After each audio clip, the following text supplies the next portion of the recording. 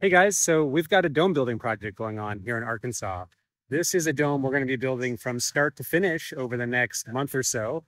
And I just wanted to give you a quick tour of what we're doing and then come back here because we're going to be adding some updates and posting photos and things like that uh, during the process.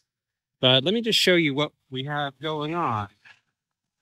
So this is a 16 foot diameter dome and it's got three arches on it and it's going to have a window we're basically looking at where the window is going to be. Um, the arches are going to have quite a bit of an overhang, so they're not quite as big on the bottom as you know what it looks like here. It's going to have basically room for a bed and a bathroom with a shower, toilet, and a sink. And there's really big arches. They're almost they're a little more than 13 feet wide. Um, so it's going to be a very cool design of a building. We're using some different ratios on this than we have in the past. So we're excited to see the design.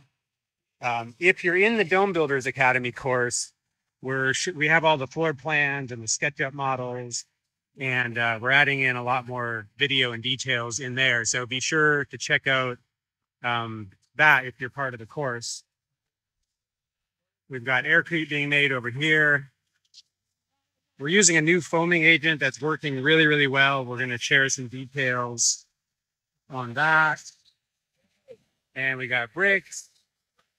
We got our top and we have this massive tent giving us shade because it's really hot here. So this tent is a 30 by 50 tarp being held up with some teepee poles that they had on property. So uh, anyways, we're super excited to be finishing this out over the next six weeks or so. And uh, so stay tuned. Thanks.